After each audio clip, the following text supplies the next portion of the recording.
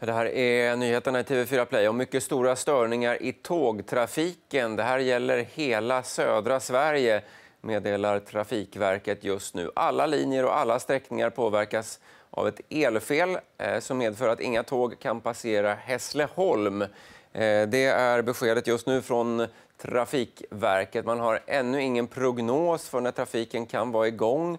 Eh, inte heller några beslut om ersättningstrafik. Vi ska se om vi får en karta på det här. Då ser vi tydligare hur läget i trafiken eh, ser ut just nu. Eh, där har ni eh, den. Bengt Olsson på Trafikverket finns med oss. Bengt, tack för att du är med oss här i sändningen. Vad är det som egentligen är problemet just nu? Ja, det är tyvärr två saker som har hänt eh, parallellt och det är, är, ganska besvärligt just nu. Det ena är att vi har eh, den elmatningen som går till järnvägsanläggningen i Hässleholm. Eh, där är en, av någon anledning så har det blivit överbelastning i, i några av ledningen som eh, för elen till järnvägsanläggningen så att eh, den har slagit ut den i Hässleholm och det gör ju att det är strömlöst i Hässleholm där tågen går igenom på Södra stambanan mellan Malmö och Stockholm. Eh, på detta har vi då haft även en, en, eh, en problem med en kontaktledning i eh, Lund som är lite längre söderut på samma linje och det tillsammans gör att det blir tvärstopp just nu. Så att vi, vi jobbar med att försöka se till att få, få i ordning de här grejerna för vi har hittat felen som det ser ut. Mm. Och, vi hoppas att det ska ordna sig här på förmiddagen fram till lunch. Men som, som sagt, det är osäkert just nu. Ja, är, finns det en prognos? Den är osäker som du säger. Ja, den är osäker. Eh, jag vet att eh, Hässleholm eh, är ambitionen att bli klar till lunch. Eh, vid tolvblecket någonstans. Men nere i Malmö så får vi se lite vad det är som har gjort att, att den kontaktledningen, eller den linan som håller kontaktledningen har gått av. Så att det, det kommer ta en stund innan det är klart och sen kommer nästa del då att, att se Finns tågen på rätt ställe med rätt personal? och Det är sådana diskussioner som vi för med järnvägsföretagen. Mm. Om man tittar på tågkartan då, eh, där man ser störningarna eh, så är det ganska många eh, tåg ja, söder om Hässleholm kan man säga, som, som verkar köa ja. upp där. Ja, ja, men det är det. Och de står på kö och det är det som gör att det, även när vi har reparerat det som har blivit trasigt nu så kommer det ta en stund innan vi har kört färdigt det. Mm. Hur eh, påverkar det här annars de stora linjerna? Jag tänker Stockholm, Göteborg och, och söderut. Ja, Stockholm och Göteborg ska inte påverkas alls av detta. Mm. Och Göteborg, eh, Malmö, Stockholm, Malmö? Nej, det ska inte påverka heller något speciellt. Eh, det är klart, Göteborg, Malmö kan påverkas självklart. Men, men, men det, är, det, det beror helt och hållet på mer hur anslutningstrafiken är gjord. Mm. Eh, vet du om, ja det är väl i och för sig upp till, till eh, de här företagen som trafikerar linjerna, men om man pratar om ersättningstrafik eller eh, lösningar på det sättet?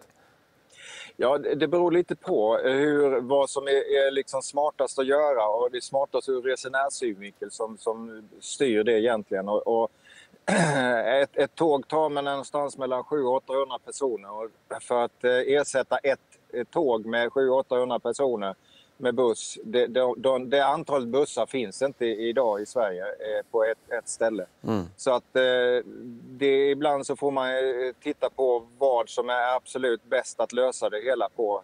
Det kan bli att, att de får vänta en stund och sen så rullar tågen igång igen.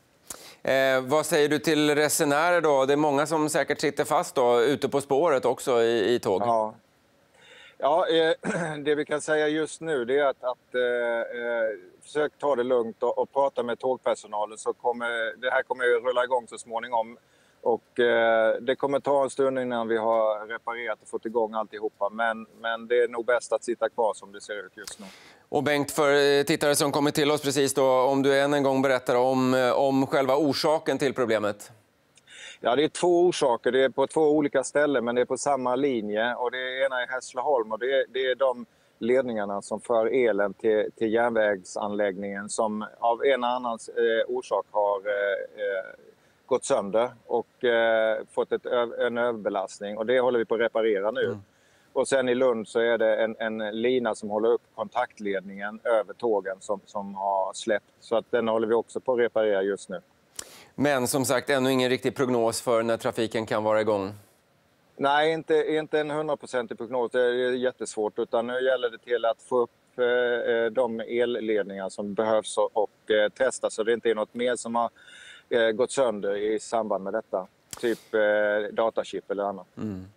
Bengt Olsson på Trafikverket, tack så mycket för att du var med oss. gav en uppdaterad bild av problemen i tågtrafiken. Vi ska kolla på kartan just nu som indikerar att det är södra Sverige som är problematiskt. Eh, på kartan som ni ser här så är det då eh, egentligen hela södra Sverige då runt Hässleholm, söder om Hässleholm. Där är problemen just nu väldigt stora, men eh, det är många tåg och avgångar som berörs. Både tåg som är ute på spåret och eh, tåg då som inte kommer iväg från stationen. Eh, just nu arbetar Trafikverket för att lösa, laga de här problemen, laga de här felen, men ingen prognos än så länge. Eh, vi har heller inte fått några besked om ersättningstrafik. Men vi söker eh, eh tågtrafikföretagen, bland annat då SJ, för att få fler besked. Vi håller er uppdaterade här i TV4 Nyheterna i TV4 Play. Stanna gärna kvar med oss.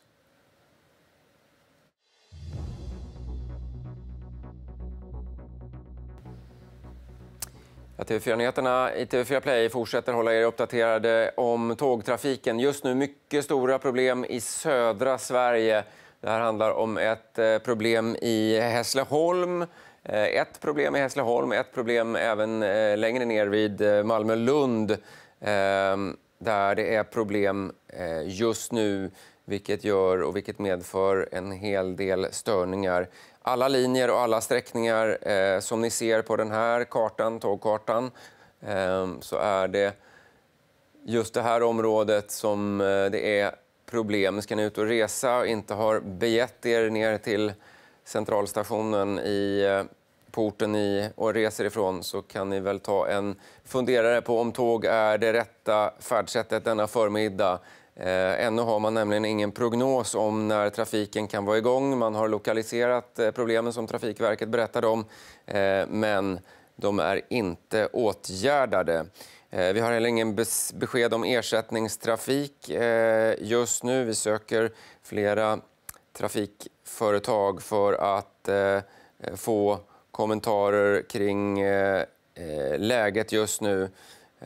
Och som ni ser då ehm, eller som ni såg alldeles nyss, så eh, är det då norr om eh, Malmö där många tåg just nu står, eh, eh står stilla. Där är det väl eh, tjockast det är, precis som vi hörde Bengt Olsson säga här, en hel del eh, passagerare som sitter fast helt enkelt på spåret.